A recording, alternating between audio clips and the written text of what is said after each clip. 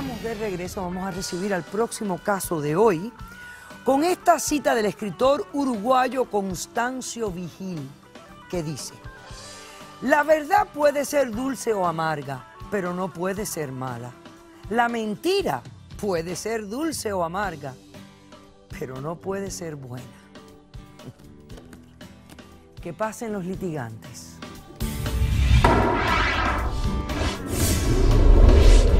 Quiero vivir. No quiero seguir atrapado en la angustia de mis sueños. Cuando te cures, vivirás tu realidad. Buenas tardes y bienvenidos. Buenas tardes. Felipe, ¿qué edad tú tienes? 17. 17. ¿Usted es su papá? Sí, doctor. Y usted le dio el permiso y la autorización de que esté aquí demandándolo a usted hoy. Así es. Muy bien, perfecto.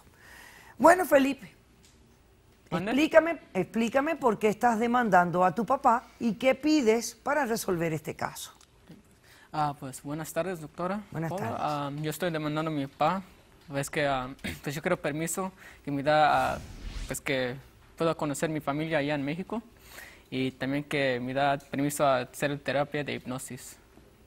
Y- Ok, esas son las dos, lo- la- las dos exigencias. Lo que tú le pides a tu papá es, uno, ir a conocer a tu familia en México. Sí. Y segundo, someterte a un tratamiento de hipnosis. Sí. Ok, explícame por qué. Pues esto empieza, empezó cuando yo tenía cuatro años. Ah, yo tenía unos sueños y en esos sueños yo, am, yo miré como a la policía, ah, mu- muchas luces y también miré am, como una arma y muchas personas estaban gritando y mucho ruido y cada vez cuando me desperté de ese am, sueño yo como tenía un, un ataque de like a panic attack Sí, ataques de pánico. Sí. Claro. y cada vez cuando eso pasó, pues yo me, como me escondí en mi cama. Y pues me dieron me- medicina por eso. Ok, ¿qué Y- pasó después? Pues cuando tenía 11, mi papá me llevó a un psicólogo y ese psicólogo dijo que yo tenía esquizofrenia. Entonces me dieron medicina para esquizofrenia. Cuando yo tenía 15, me, me dieron, am, pues me llevaron a otro a psicólogo y ese psicólogo dijo que nunca tenía esquizofrenia. Que no tenías esquizofrenia, o sea, que te habían mal diagnosticado. Sí. ¿Y qué Sí. pasó con el otro psicólogo? Eh, pues el otro psicólogo dijo que, pues, como nunca, pues me dieron a una medicina que se llama, Ok. y esa medicina como me ayudó mucho. Yo, yo tengo como, me ayudó, me ayudó a tener una vida normal, Ok. pues más normal, no, no todo Sí, normal. Y pues me regresaron al colegio y tenía una novia, pero pues, you know, stuff happens, cosas pasan. ¿Qué pasó con la novia? Pues um, me engañó. Oh, bueno, pero eso no tiene que ver nada contigo. ok, dime esto. ¿Tú crees que eh, la hipnosis te va a ayudar en algo? Sí, ¿Por es qué? que, oh, pues, hace unos nueve meses de hoy, o pues aproximadamente, aproximadamente un- unos nueve meses, ah, yo tenía esos mismos sueños que tenía antes, pero la única diferencia es, yo miré a mi mamá, En el sueño. sí, en el sueño, ¿Y dónde está tu mamá? pues se murió cuando yo nací, Oh, tu mamá murió cuando tú naciste. sí. Ok. Oh, ¿Y, y, y qué pasaba en el sueño con tu mamá? Pues me estaba pidiendo ayuda. Y pues, pues yo me desperté, que es que el desperation, nunca, pues es lo que me despertó. La Y- desesperación. Ujú. Y después de eso, pues encontré en el closet de mi papá el direcciones de mi abuela. ¿What? ¿Qué? Sí, no se encontré. ¿Cómo es? ¿Qué me dijiste de tu abuela? Eh, encontré- pues encontré las direcciones de, de mi abuela en México. Ajá. La mamá de tu mamá. Ujú, la mamá de mi mamá. Ok. Y lo escribí car- cartas, pero nunca me respondió. Claro que no te Ella no te responde nunca. Tu No. abuela nunca te ha respondido. Pero esa es la abuela que tú quieres ir a conocer. Sí. Perfecto. ¿Algo más? Ah, eso es todo. pues, Eso es todo, sí. Felipe. Perfecto. Bueno, Marcelo, ¿cómo usted responde? Doctora, Felipe es un niño especial. Felipe lo quiero mucho y, y toda la vida, toda la vida lo he cuidado. Desde que su madre murió, yo solo lo cuidé. La mamá ahora- murió en el parto En de el él. parto, en el parto. Como sí, consecuencia doctora. del parto. Sí. Entonces, al darnos la espalda, la, la familia de, de mi ex esposa, ya fallecida. Entonces nos da la espalda, no nos quieren, nos rechazan, no me estoy apoyan. Entonces yo digo, ¿qué quiero hacer? Yo quiero hacer una vida nueva. Mi esposa y yo teníamos planes de venir a Estados Unidos. Estábamos viviendo en México, teníamos ya una visa de turistas. Yo tomo a mi hijo y me fugo a Estados Unidos. Y estoy en Estados Unidos ilegal. ¿Sí? Encuentro una mujer, me caso, tenemos dos hijos más, tengo una familia estable, pero una familia estable, no, una familia con Felipe en la familia no es una familia normal. Ya, eh, otro diagnóstico, que tiene esquizofrenia. No tengo. Otro El- el otro diagnóstico que no que no tiene esquizofrenia. esquizofrenia. Usted puede ver ahí, a mí, ningún doctor. Bueno, ahora dime esto. eh, eh, eh, o o sea, ya- eh, ha, ha habido problemas diagnosticándolo a él. Ya- Correcto. Ya, lo- ya me doy cuenta. Pero, ¿por qué no hacer la hipnosis? La hipnosis. Ajá. Ya investigué y ahí, ahí, viene, ahí viene parte de lo que investigué. Es contraindicado para No alguien doctor. con esquizofrenia pasar ese procedimiento. Les hace más daño de lo que les puede ayudar. Bueno, pero Entonces, aquí hay un diagnóstico que dice que Un la, diagnóstico, que la esquizofrenia ha sido, eh, no ha sido, eh, o sea, que no, no tiene esquizofrenia. ¿Es una opinión? Que ¿Él tuvo algún trauma de pequeño? No, doctora. Nunca tuvo un trauma, nunca tuvo... vi- vivió una vida normal, nunca tuvo un evento... Pues una un- vida normal, nos escapamos de México, él era un infante. Bueno, está bien, eso no lo recuerda. Exacto, entonces no tiene un trauma que vaya a recordar, no lo hay. Tiene una vida y, y Entonces, ¿por qué sueña esto, no sé de dónde está soñando esto, no sé de lo... No sé, Eso es porque yo quiero hacer ¿Usted hipnosis. tiene testigo? yo tengo testigos. Pasemos al testigo de, de Marcelo. O sea- que la razón que usted no le hace la hipnosis es porque es contraindicado en pacientes esquizofrénicos y usted todavía no está seguro que él no sea esquizofrénico. Exactamente. Número uno. Número dos, la visita a la familia en México, nada, porque esa familia nunca ha, ha tenido interés Así en es. conocerlo a él. Ok, perfecto.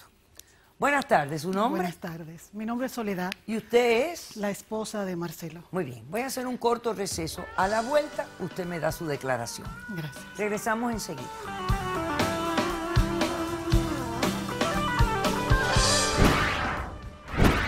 y agarra la pistola y mata a mi hijo. Hace 15 años que yo ando desesperada porque no puedo saber de mi nieto. Es cierto lo que me dice la señora, ¿correcto? Sí, lo admito. Ok. Caso cerrado.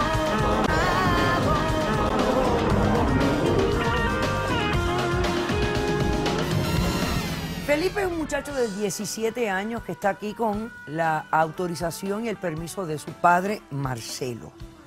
Felipe está demandando a su papá Marcelo porque él quiere dos cosas. Él quiere someterse a una terapia de hipnosis y además quiere ir a México a conocer a la familia de su mamá, quien murió durante el parto de Felipe. Y aquí está el, el- el tema del caso. Aquí, aquí está con nosotros Soledad, que es la esposa de don Marcelo. Y, y ustedes estuvieron juntos desde que él tenía, ¿qué edad? Cuatro años. Cuatro años de edad. Desde los cuatro años eh, he venido donde usted porque necesito, encarecidamente, doctor, que haga lo, lo imposible, porque esto se solucione. No sé si El es Marcelo es el que tiene la solución. pero se ha buscado en todas partes. Y, mi- y mis hijos, mis hijos no tienen vida, en mi casa no hay juguetes, en mi casa no hay nada, doctor. Y yo estoy desesperada, yo no tengo vida. Yo también. Yo no he vuelto a tener vida de nada. Este El niño vive gritando, todas las gritando, medicinas y rompiendo todo las eso, cosas. ya, en la ya, casa, en la casa y todo está roto. Mis hijos no pueden eh, jugar con los amiguitos. Ya, ya cállate, ya, Nada, ya, no, tú no eres normal, no, no, no, momentito. Soledad, Soledad. Soledad. Ok. Eso lo atormenta. Todo. Hasta hablar duro Lo atormenta. lo atormenta. Una música. Felipe, ¿qué te pasa? Dime. ¿Qué te pasa? Pues es, es, no sé, pues más el ruido ahorita que está gritando y no sé. No, no se puede, nada. ¿Y te pone nervioso cuando oyes gri- gritos? Sí, pues cuando muchas personas gritan, sí, pues sí lo puedo controlar, pero ahorita no sé por qué, es, sí está como... Es así. Es así. Ok. Bueno, producción me dice que hay una persona que fu- contac- contactó a la producción y que quiere ingresar a la sala porque tiene algo relevante a este caso. Pasemos a esta persona a ver. eh, No, Marcelo, no, no, no, Marcelo. Por favor, doctora. Marcelo. Doctora, doc- ¿Para quién es? Marcelo, por señora, favor. Señora, cuidado, cuidado con lo que dices. Tengo, tengo que hablar, Marcelo. Déjame hablar con la doctora. Doctora Polo, muy buenas Va. tardes. Pase por aquí, por favor. Gracias. ¿Quién es ella? ¿Quién es ella? ¿Cómo está usted? ¿Cómo Muy se llama? bien. Con- me llamo Mercedes, doctora. Mercedes. Doctora, yo quiero, lo que yo le voy a contar, no quiero que mi nieto le escuche.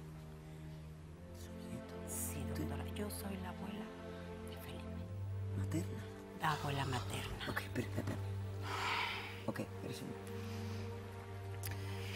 Em, Felipe, vamos a hacer algo. Yo quiero que tú te retires de la sala un momento. Ah. ¿Ok? Ok. Porque yo quiero cuidar tu bienestar. Quiero que tú estés bien ante todo. Em, y, eh, acompaña a Roberto. Y Roberto, dile al, al abogado Ángel Leal y a la doctora Geisha Menéndez que pasen a la sala.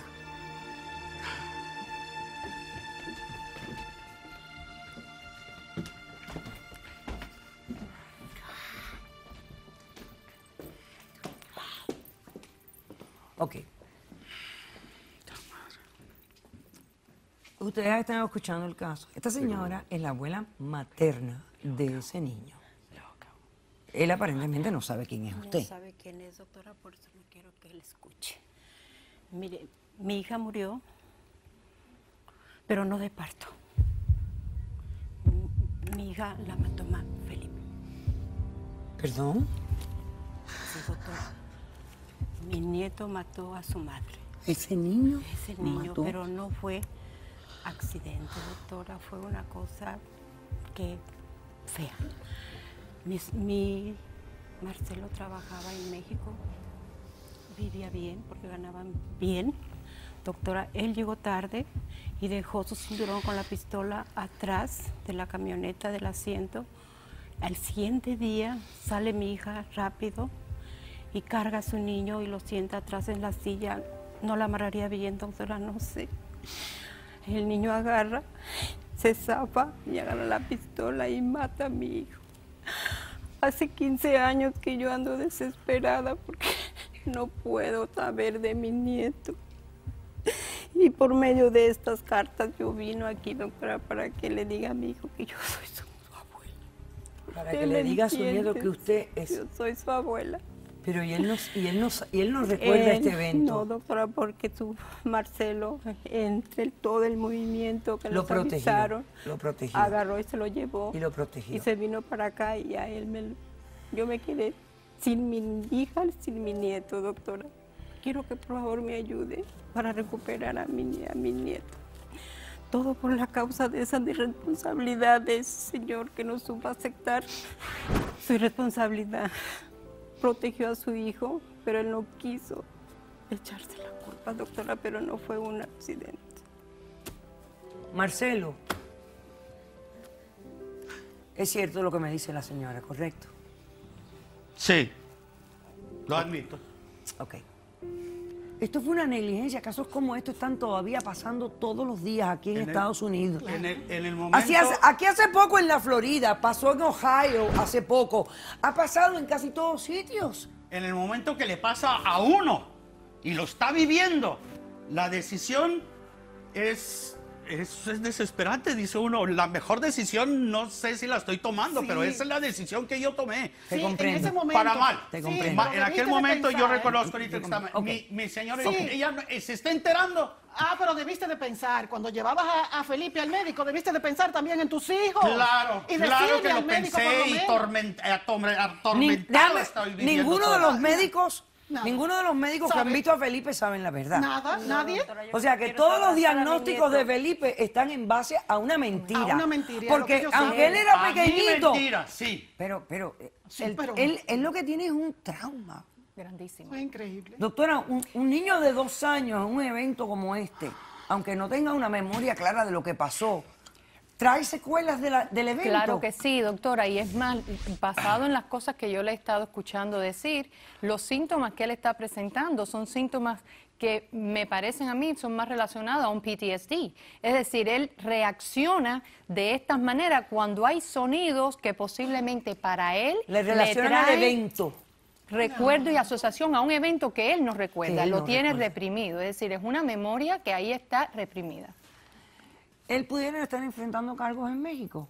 Sí, ¿cómo no? Y cargos Fue- de, de- de que se largó y no enfrentó justicia. Exactamente, pudo haber habido una investigación que no se llegó a completar por la ausencia de él, un posible cargo de asesinato involuntario, pero sin una acusación formal. Por eso cuando él entra con la visa de turista tal vez no lo paran porque no hay una orden de arresto. Eh, de hecho, en el proceso de la investigación de nombre de él cuando se hizo residente, tal vez todavía no existe eh, el enlace entre la acusación y la persona de él. Eh, pero existe un tema de un delito contra la, un posible delito contra la moral. Mercedes, Mercedes. Párese ahí al lado de, de doña Soledad, por favor. Párese ahí. Le debo decir que esta señora es su abuela materna. Creo que eso sí lo toleraría porque lo está, lo ha estado ya, ya lo sabe, Lo no la conoce, pero lo está pidiendo. Yo voy a entrar a ese niño y yo le voy a decir dos cosas nada más. Le voy a decir que esta señora es su abuela materna, para que ella tenga eso. Y yo sé que ustedes como adultos, la segunda parte no la van a echar a perder. Yo le voy a decir también que tú lo vas a llevar a la hipnosis. ¿Ok? Que aquí se ha decidido que tú lo vas a llevar a la hipnosis. Voluntariamente tú lo decidiste porque es el bien de él. El resto de la historia se la van a contar con un psicólogo presente en la privacidad de la oficina de ese profesional. Pásame a Felipe. Y usted, señora, usted sabrá guardar. No, eh, Doctora, ¿qué pasa? Felipe, tengo buenas noticias para ti. Yo quiero vivir una norma normal. Tengo buenas noticias para ti. Porque mira cómo es la vida. A veces las cosas se desenredan solitas, van empezándose a resolver. Primero te voy a decir algo. Tu papá y yo hemos decidido, junto con la ayuda de los expertos de este caso, con la doctora Geisha Menéndez y con el abogado Ángel Leal, que es buena idea que tú hagas hipnosis. Así que ya ganaste la primera parte de tu demanda. Muy bien, perfecto. Te vas a sentir mejor, mejor. Tú vas a ver que tu vida se va a desenvolver y hasta las pesadillas se van a ir disipando. Y la segunda buena noticia que te quiero dar es que esa señora que tú ves ahí es tu abuelita. Ella es tu abuela. Yo soy tu abuela. Así que, mira qué bien se resolvió parte de esta situación. ¿Ok? Ok. El resto ustedes lo saben. Ustedes lo saben. Y por ahora esto es un caso cerrado. ¿Ok? Gracias, doctora. Ok. Ya se pueden retirar y la vida ha de continuar. Les deseo buena suerte. Ok, Felipe, hasta luego. Que estés bien. Hacemos nada. Sea cortés, ande con cuidado, edúquese lo más que pueda. Respete para que lo respeten y que Dios nos ampare. Nos vemos el próximo día. Gracias.